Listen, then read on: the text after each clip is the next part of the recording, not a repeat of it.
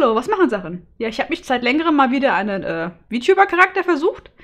Den äh, guten Jungen hier. Er hat noch keinen Namen. Ich komme später dazu, warum. Ich will jetzt einfach mal ein bisschen was dazu erzählen. Generell äh, hatte ich mir im Vorhinein keinerlei Gedanken gemacht, außer dass ich ihm halt äh, in Richtung eines Honigdachs machen möchte, dass das halt so meine Inspiration war. Aber ich habe mir keine großartigen weiteren Gedanken gemacht. Das ganze Modell ist auch komplett in einem Stream entstanden auf Twitch. Ich werde wahrscheinlich hin und wieder auch mal Charaktere erstellen auf Twitch. Entweder halt Aufträge, die ich momentan wieder annehme, falls jemand da Interesse hat. Oder halt äh, einfach random welche Charaktere, wie jetzt unseren äh, Honigdachsjungen, die ich dann halt später anders wie meine anderen Charaktere bisher, die ich halt alle gratis zur Verfügung gestellt habe über äh, Reworld Hub. Das ist unten verlinkt, wenn da jemand Lust hat. Einfach mal zu schauen, was ich schon gemacht habe und Charaktere auszuprobieren. Möchte ich das bei ihm halt jetzt anders machen oder generell bei zukünftigen Modellen anders machen, da ich da ein bisschen mehr äh, ja, zusätzlich mache in Richtung halt äh, Blend Shapes, bei ihm Animation. Das war auch mein Hauptziel bei dem Modell, dass ich halt äh, Sachen ein- und ausblende durch Animation. Bei ihm halt, äh, er hat zwei verschiedene Outfits, ein T-Shirt und ein Hoodie. Das kann man dann halt äh, in VC Face äh, wechseln. Wichtig ist, dieses Modell funktioniert tatsächlich nur für VC Face, da ich die VC Face SDK genommen habe für halt gerade diese Animationen von Sachen ein- und ausblenden. Und er hat auch einmal ein Stück Honig bekommen, so einen Honeycomb das ich auch modelliert habe im Stream. Leider hat das ein paar Problemchen gegeben und ich habe den Abschnitt einfach rausgemacht, weil da äh, gab es ein paar Bildstörungen und das fand ich doch ein bisschen irritierend. Daher ähm, gibt es den Honeycomb modellieren nicht. Ist jetzt auch kein großer Weltuntergang, denke ich. Der Charakter an sich ist ein bisschen interessanter. Ja.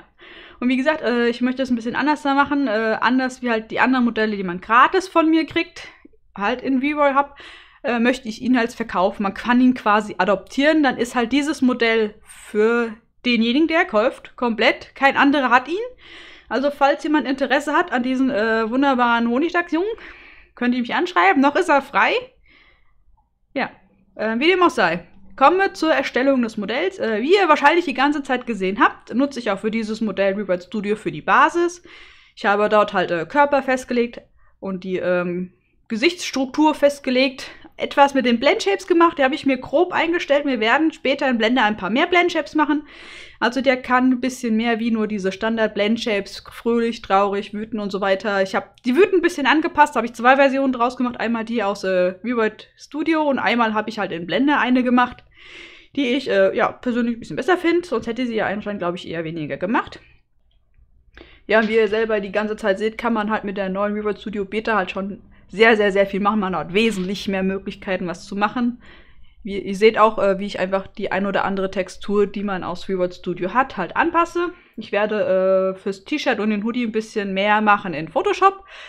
Seht ihr dann, wenn wir soweit sind, dann habe ich ihm ein kleines Logo gemacht, das habe ich ihm schnell gezeichnet und halt äh, vorne auf sein T-Shirt gemacht und hinten auf sein Hoodie. War ein bisschen äh, schwierig, äh, das auf den Hoodie zu kriegen, weil der Rücken halt äh, zweigeteilt ist, aber ihr werdet das sehen, da hatte ich ein bisschen gestruggelt, bis ich das so hatte, wie äh, dass das passt. Und ich bin auch sehr begeistert generell von der neuen Visual Studio Beta. Die Modelle sind halt wesentlich äh, smoother, die haben deutlich mehr Polygone, es sind sehr, sehr viele Optionen an Texturen, dass man halt nicht direkt immer alles selber zeichnen muss. Man kann natürlich, man kann halt auch die Sachen, die halt vorhanden sind, schon ein bisschen äh, editieren oder halt komplett neu machen, wie einem das blieb, dass man halt nicht unbedingt auf äh, Blende angewiesen ist. Für die Leute, die in Blende arbeiten, ist das halt auch noch viel besser. Man hat halt, wie gesagt, äh, deutlich mehr Polygone. Mir werden auch das eine oder andere wahrscheinlich, äh, werde ich euch noch zeigen, was man halt in Blender so machen kann, wie man so ein paar Sachen sich verändern kann. Wie man jetzt beispielsweise Blendshape aufsetzt oder halt generell irgendwas äh, anpassen. Ich will jetzt demnächst ein Tutorial machen, wie man halt neue Bones dazusetzt. Das hatte ich eigentlich schon länger geplant, habe ich aber doch ein bisschen vertrödelt. Momentan ist wieder ja, ein bisschen stressig bei uns. Das geht aber bald wieder rum. Wie gesagt, äh, das ist das, was ich geplant habe. Generell, dass ich halt noch ein bisschen was zu dem Thema mache, weil mich interessiert das halt selber. Ich mache das halt selber gerne. Und ich denke, der eine oder andere hat auch schon Interesse dran, wie er sein halt eigenes Model aufpeppen kann, selbst eins machen kann oder halt äh, generell, was halt man so mit so einem Modell machen kann. Ja, und ich habe das ein oder andere Experiment damit davor. Mal sehen, wie weit ich komme. Wenn ich erfolgreich bin, zeige ich euch natürlich, wie es geht oder das äh, Result. Ja, momentan kann halt leider auch nicht alles testen, weil ich habe einfach auch nicht alle Sachen zu Hause. Also das, was ich testen kann und probieren kann, das teile ich gerne mit euch. Aber äh, ja, wir sind ein bisschen abgeschweift. Wir wollten doch eigentlich über äh, unseren Jungen hier reden. Ihr seht, ich habe halt wirklich äh, für ihn jetzt da halt primär der Fokus bei mir jetzt lag, dass ich halt in äh, Blender halt Blendshapes anpassen möchte. Ich möchte die SDK in Unity testen. Auch äh, generell, ich habe den Unity-Part leider jetzt hier nicht drin. Das war dann doch alles ein bisschen lang, weil das Video an sich ist jetzt schon doch sehr lange. Und ich wollte das nicht noch weiter hinauszögern. Ihr habt ja schon ein paar Tutorials von mir, da könnt ihr reingucken, wenn euch der Unity-Part interessiert. Oder wenn ihr noch Fragen habt, könnt ihr mich auch gerne diesbezüglich einfach gerne fragen. Ja.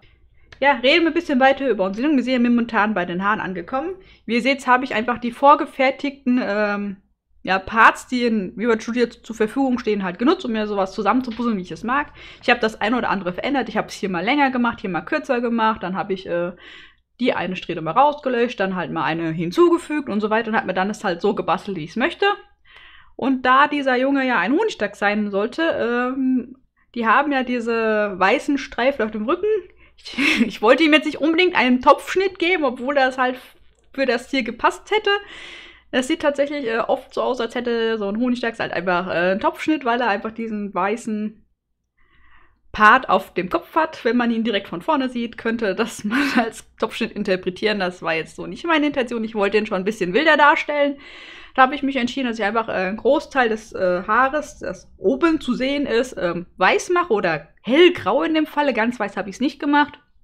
Und halt den unterliegenden Teil halt deutlich dunkler, fast schwarz generell äh, beim Einfärben versuche ich meistens immer darauf zu achten, dass ich nicht ganz ins Weiß und nicht ganz ins Schwarz gehe, sondern dass ich immer so eine, entweder eine gleiche Graustufe drinne habe, also dass es nicht komplett schwarz oder weiß ist, oder halt tatsächlich ein bisschen mit Farbe, so einen kleinen Hauch Farbe. Es wirkt oft natürlicher und äh, angenehmer im Auge, wenn man das halt so macht und nicht komplett diese Farben durchknallt.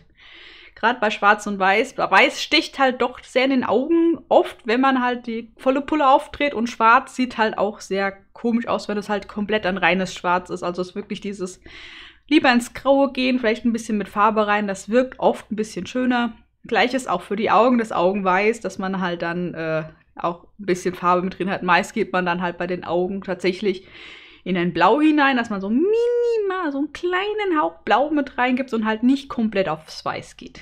Es wirkt meistens ein bisschen schöner wie halt dieses reine Weiß.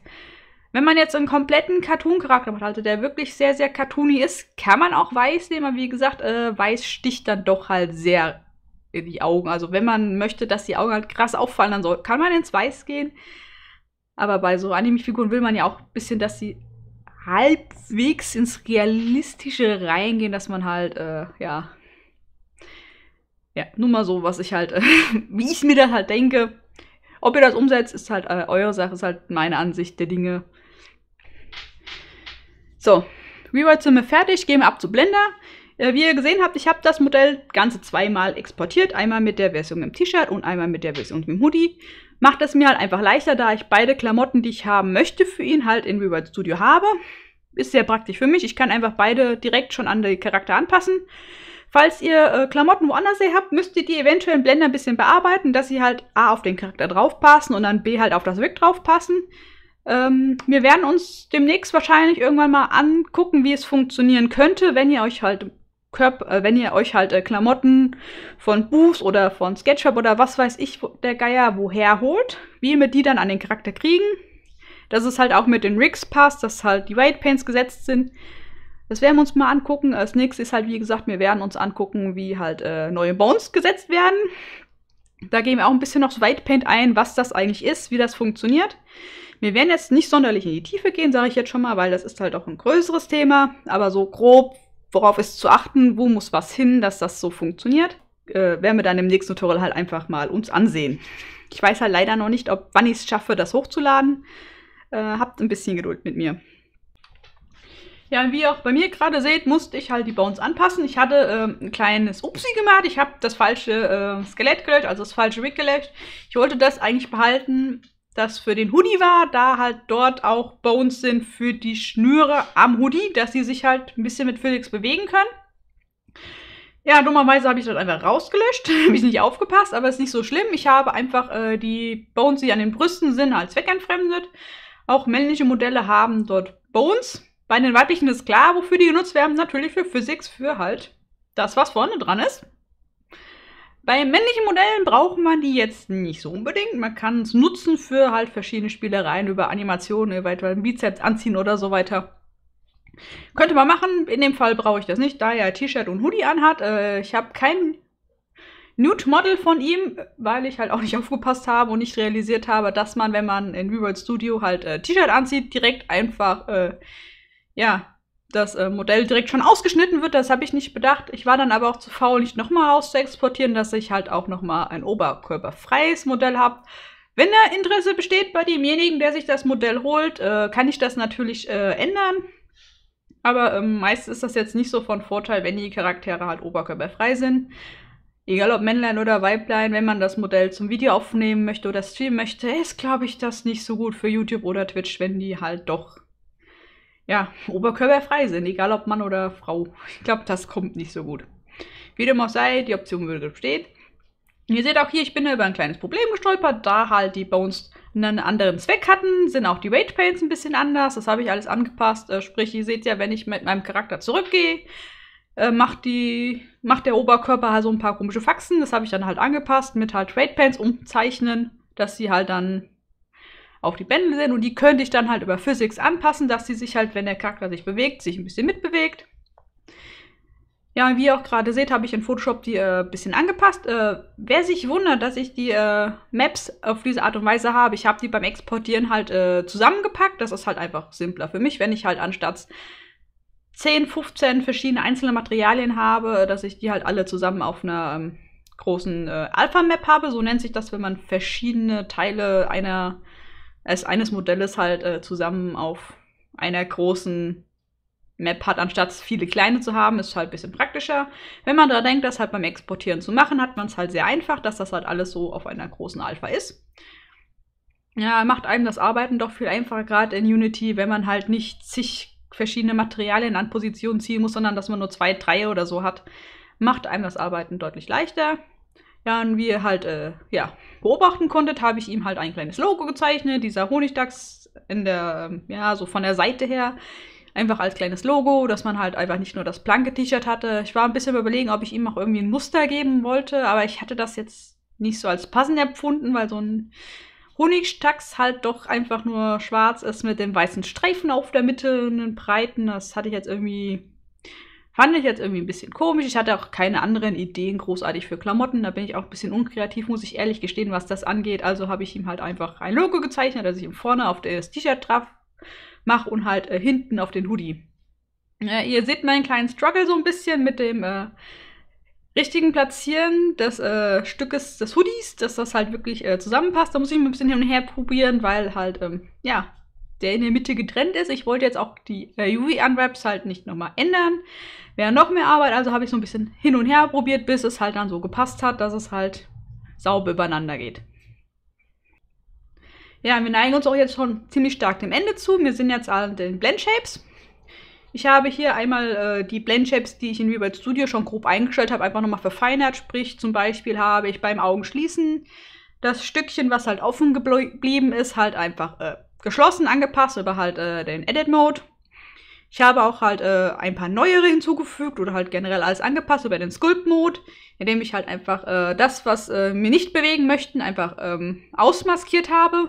Den Rest habe ich dann halt über die Pinsel und mit, meistens mit Symmetry ein bisschen angepasst. Äh, auch hier gilt, äh, wenn ihr Interesse daran habt, dass ich euch zeige, wie man halt Blend Shapes in Blender macht, wie man die halt äh, bearbeitet, wie man ein paar zusammenfügen kann, dass man neue hat, ähm, gerne in die Kommentare, vielleicht mache ich das auch als äh, Tutorial, einfach damit ich weiß, äh, was möchtet ihr haben, worauf kann ich mich jetzt fixieren, was ist für euch wichtiger. Ich werde irgendwann alles nach und nach durchgehen, nur halt ähm, das, was euch interessiert, wenn euch was interessiert, werde ich dann halt bevorzugen, wenn mir das in die Kommentare geschrieben wird, weil dann weiß ich immerhin, äh, worauf euer Interesse besteht, weil ich kann keine Gedanken lesen. Sonst gehe ich halt einfach das durch, was mir gerade so in den Sinn kommt, was ich denke, was sinnvoll ist, was ich denke, was äh, manchen helfen möchte oder wo ich einfach Bock drauf habe. Wie gesagt, aber wenn ihr irgend, für irgendwas Interesse habt, auch sei es jetzt für Unreal oder für Unity, äh, wenn ich dafür was machen kann, schreibt mir einfach, äh, fragt mich in den Kommentaren, ob man dazu halt irgendwas machen könnte, dann äh, schaue ich mir das mal an. Ja, wie gesagt, äh, ich habe Blendshapes bearbeitet, Blendshapes neu gemacht. Jetzt kann er halt einige lustige Grimassen ziehen und hat halt ein bisschen mehr äh, Variation in seinem Gesicht. Ja, es sind nur noch ein paar kleine Sachen, die fehlen. Wie gesagt, leider habe ich das Modellieren von dem äh, Honigwaben leider nicht mehr drin. Ich habe ein bisschen noch was, äh, das letzte Anpassung für die Texturen gemacht, sprich für das kleine Emote, was aufploppt, wenn er wütend ist. Und dann, äh, ja, setzen wir in Unity zusammen, was ich halt auch nicht in dem Video habe, weil es halt eh schon sehr, sehr lang ist. Und wir können das alles testen. Ja, ähm, ja, mir gefällt euch unser kleiner Honigdachsjunge. Wie gesagt, zur Zeit dieses Videos ist er halt noch zu haben. Also wer sich für das Modell interessiert, kann sich bei mir melden. Sei es halt über die Kommentare auf YouTube, auf Facebook, auf Instagram. Eigentlich kann ich mich fast überall finden. Ich habe ja genug Zeugs unten verlinkt. Da könnt ihr draufklicken. Und wenn ihr halt Interesse habt äh, oder halt generell Interesse auch an einem Modell für euch. Ich mache auch äh, Custom-Modelle. Ja, wie gesagt, äh, könnt euch dann bei mir melden. Ich, äh, für den Rest hoffe ich, äh, das Video war halt äh, interessant für euch, hilfreich für euch. Äh, ja, dann bedanke ich mich für eure Aufmerksamkeit und wir sehen uns wann anderen mal.